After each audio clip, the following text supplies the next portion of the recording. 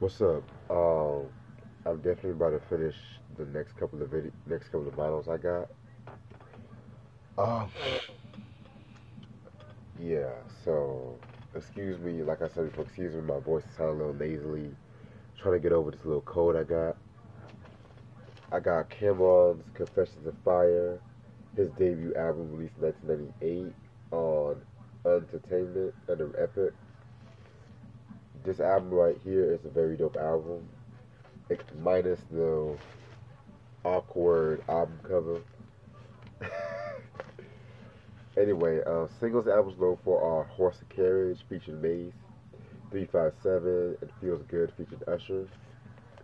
I would not call this album a classic. Like I said, I would not call this album a classic, but it's definitely a very dope album and shit like that. Like late late nineties East Coast hip hop its finest. Cam'ron Confessions of Fire. Oh shit. Then we have Aalon's debut solo album, self-titled, released in 1977. Give me one second, I'm sorry.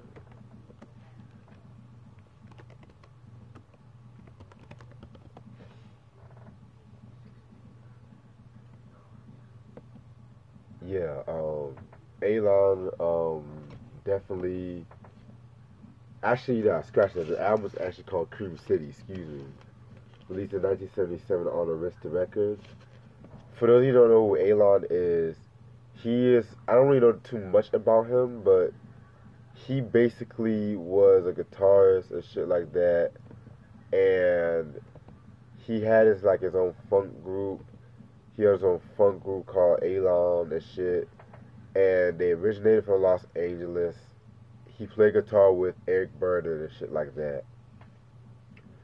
So yeah, I don't know too much about him, but Cream City was released. Um, very dope album and shit like that.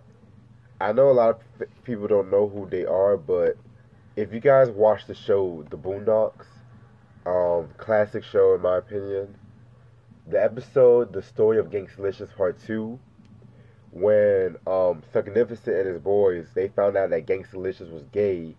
The song "Rock and Roll Gangsta," which is on this album, played in the background and shit like that. So yeah, very um, this is actually a very dope album and shit. It has, it has like that summertime feel to it and shit. Very cool album. Uh, I was definitely surprised when I found this at the uh, record store because this album usually goes for like a lot of money most of the times and shit. I mean, sometimes you can find it cheap, but majority of the time you can like um, it's pretty expensive majority of the times and shit, and it's out of print too. So even though they they re, re, I think they remastered this album back in '96. Um, I believe it's out of print. So if you can find this album, definitely collect it. If you like late '70s soul and shit. So, and it's crazy too, because they disbanded before they released a second album and shit like that. And by the late 80s, he quit the music business so he could take care of his son and shit. So, yeah, very very dope album, Cream City. I might get some raised eyebrows for this one, but before I do, I just want to say that when it comes to these videos, you're gonna expect the unexpected and shit. So, The Young and the Restless the original theme and TV soundtrack. I know you guys are gonna be like, what the hell kind of vinyls does he got?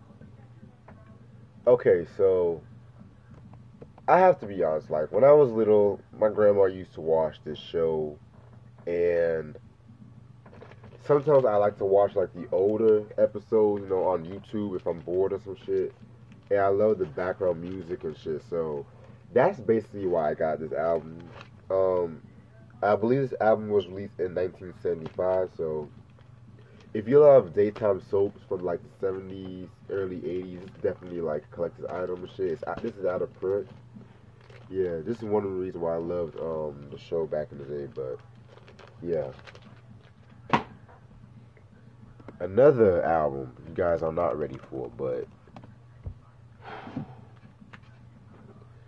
the Space Jam soundtrack, released in 1996.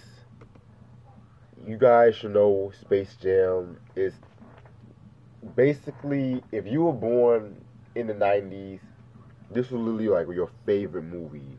Michael Jordan, the Looney Tunes, what more can you ask for? Like that just screams the 90s right there.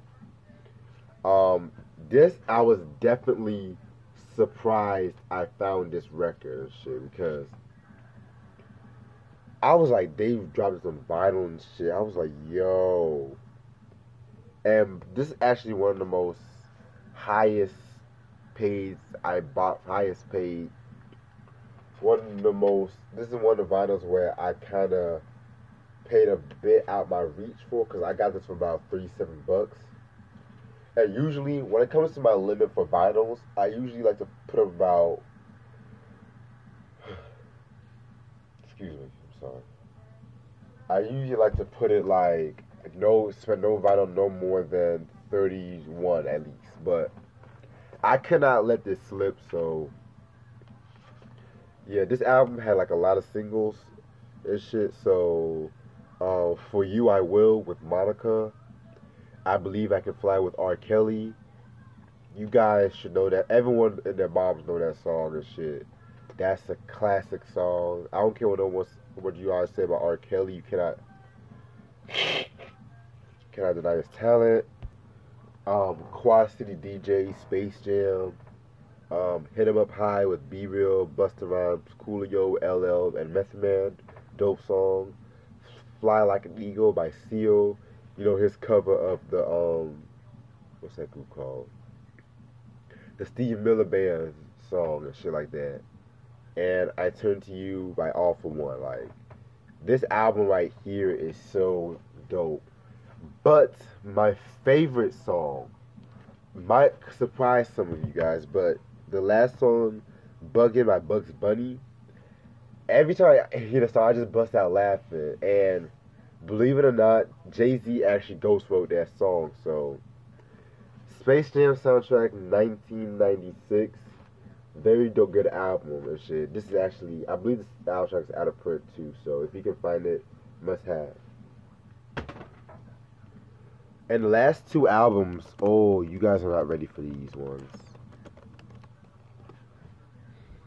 This next album is Biz Markie going off, released in 1988 on Cold Chillin' under Reprise, I believe, under Warner Brothers. Well, yeah, under Cold Chillin' under Warner Brothers.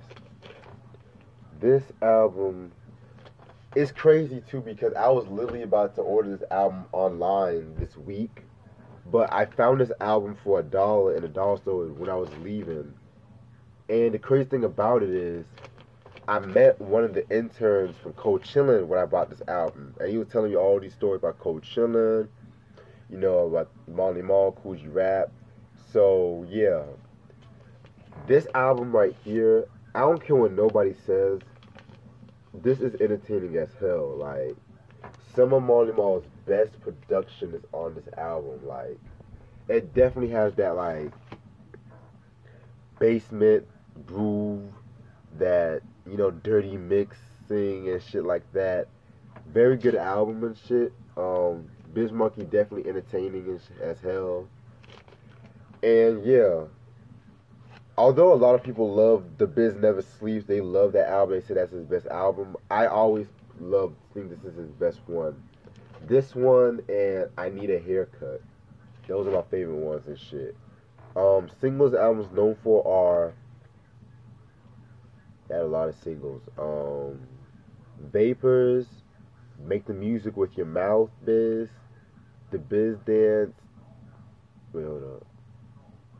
Nah, give me one second. Yeah, Make the Music with Your Mouth and vapor. Those are like the main singles and shit. Um, Vapors, you guys should know that by that song. Snoop, Snoop Dogg um, covered that song for the Doggfather album. Like, very, it's like a feel good album right here. Very good album. Um, believe it or not, this is actually the OG copy. Believe it or not. And I got this for a dollar because this album goes for sometimes like 30, 40 bucks sometimes and shit. So yeah, expect a review on this album because um I'm since I'm still trying to finish up the Big Daddy Kane reviews, I thought this would be like a nice placeholder. So Biz Markie going off 1988. Um, this album is actually out of print, so yeah. And you guys are not ready for this one. Y'all not ready. Scarface's debut solo album, Mr. Scarface is Back, released in 1991 under Rap-A-Lot under Priority. Hip Hop Classic. Hip Hop Classic. This album is grimy, sinister, sick, very good album and shit. Like, in my opinion, if if this album was never released, there would be no Ready to Die.